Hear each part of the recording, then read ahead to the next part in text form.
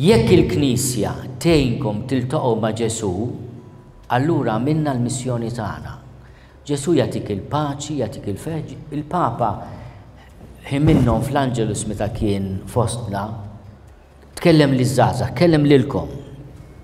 Qalkom, Jiena m'għandi xejn x'noffrilkom ħlief l-ikbar ħaġa li tistgħu tiltaqgħu magħha, li hija persuna, mhix xi ħaġa wara kollox, mhix lista ta' kmandamenti, mhix lista ta' ħafna crosses jew very goods,